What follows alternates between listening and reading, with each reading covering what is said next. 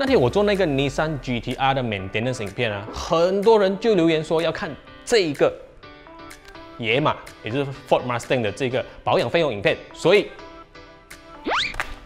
我今天就算给大家看。美国车我养起来会不会很贵呢？我们先来讲讲这个 Ford Mustang 普通 service 方面的费用啦。那在我国这个第六代的 Ford Mustang 其实就基本上就是两个版本哦。第一个就是这个呃搭载这个 5.0V8 自然进气引擎的 Mustang GT，那另外一个呢就是比较亲民的这个2.3 EcoBoost 版本，它搭载的就是2.3的这个涡轮增压引擎啦。那在这里我们就列出呃这两台车型啊，在这个普通保养方面的这个价格啊，像是换黑油啊、换这个 air filter 啊、火星塞等等啦。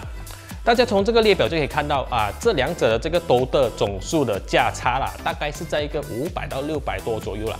这个其实因为他们这个价钱方面啊有这个呃落差的原因，其实是因为要看地点而定，所以在这方面大家可以看到了，这个价格就是在这里了。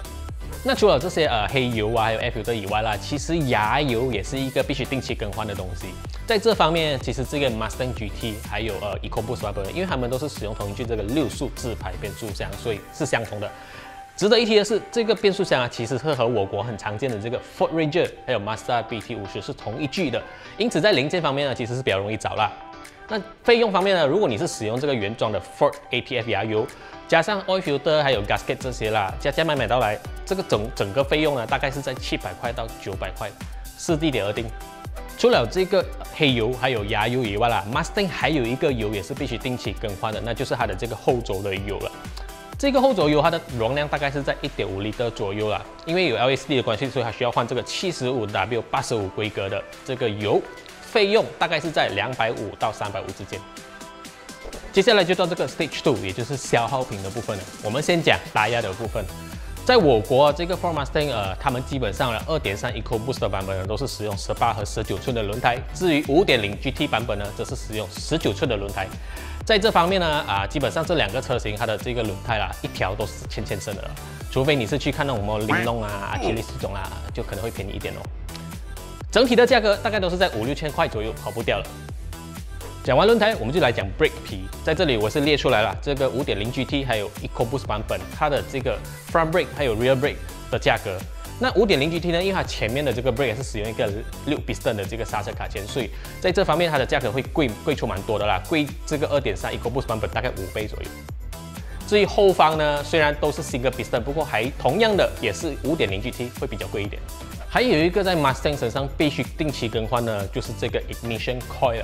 在这方面呢，呃，它不需要换整套，你可以一个一个换。不过这个有点特别，因为 EcoBoost 版本反而是比较贵的，它的这个 ignition coil 一个要五百五，而 GT 版本呢则是三百五。OK，接下来就讲了这个 Stage Three 了，就要讲一些呃车龄比较高的这个 Mustang 需要注意的零件了。首先，我们就先来讲这个刹车盘先。这个东西呢，如果是五点零 GT 的话，整套大概要四千到五千。至于二点三 EcoBoost 版本呢，则是两千五到三千左右了。我必须说的是，这些都是原装货的价钱。如果你可以找到 OEM 的话，他们的价格会更加的低一点。接下来这一个呢，就是你买那些车龄比较高的 Mustang 啊，所要注意的，那就是 Engine 铆钉了。不过这个锚定的价钱呢，呃，以一台双门跑车来讲啦，其实并不算太高。这方面，二点三 EcoBoost 版本这个 engine 锚定的价钱大概是在千五到两千五左右。至于五点零 GT 呢，则是两千五到三千左右，包人工啦。不过值得一提的是，这个价钱其实是呃前方一对 engine 锚定加上后方的一粒 transmission 锚定的一个总数。因为通常呢，他们这个 Mustang 啊一换的话呢，就是一次过换完这些锚定。还有一个就是水箱啊。这个东西呢，包料到来了，大概是两千到三千左右。那讲完这个水箱呢，顺便就讲买这个 water pump 咯。二点三 EcoBoost 版本呢，它的这个 water pump 大概是在四百五到六百左右。至于五点零 GT 的呢，这大概是要八百到一千二。这方面的价差也是比较明显啊。不过比我的这个水箱还要便宜哦。还有一个就是这个呃冷气的 compressor 啊，这一方面呢，这个 Mustang 它的 compressor 的价格大概是在三千到四千令吉左右。不过刚才我讲的这些东西呢，其实我觉得是比较难坏了，反而比较注意的应该是车脚的部分。那我们就讲一讲这个 absorber 要多少钱。这个 absorber 的 Mustang 新的啦，要八百块，不过是一只 bro，八百块四只啊，买币就有啦。最后一点呢，就是这个 rod tax 了。不要忘记你的这个 Ford Mustang 啊是二点三 l 还有五点零 l 这方面要多少钱呢？首先你要知道怎样算我国的这个入税的价格的话，可以点击上方这个小白点，之前我们有教过大家这个 Road Tax 的算法。那在这里我就跟大家讲了，这个二点三 EcoBoost 它的正确的排气量是。两千两百五十三 cc，至于五点零的版本呢，则是四千九百五十一 cc。在这里，我们也就列出这个 r o d e x 的价格，给大家知道一下这个差别了。我可以跟你讲的是，五点零肯定是弯弯升哦。在这方面，我是觉得这个美国野马它的养车成本啊，相比起我那天说的那个东瀛战神啊，比起来哦，是轻松了很多。那现在这个 Mustang 其实是很便宜啊，大概二十万左右你就可以买到了。不过像我那天讲了，就是车龄越高的车子呢，可能就需要更换的零件更多啦。那在这方面呢，你真的是要准备一笔储备金去 stand by。那如果你今天在物色这个二手的 Mustang 啊，给你找到这个当年那个 Ford Malaysia 的官方版本的话呢，记得问一下，当年买这个 Mustang 啊，随车附送的 Fiesta 有没有一起过来？因为当年这个解除 GST 的时候啊，Ford Malaysia 其实是就是有推出这个优惠，买一台 Mustang GT 送一台 Fiesta EcoBoost。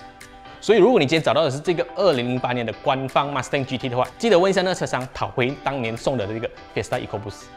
那今天这个影片就到这里结束。如果你们还想要看什么车款的保养成本的话，在下方留言给我们知道，我们会尽力安排。不过最重要的是，喜欢这一期影片的话，不要忘记按赞、分享以及订阅我们的频道，不然人家做 YouTuber 啊可以买 Mustang，我们都买不到。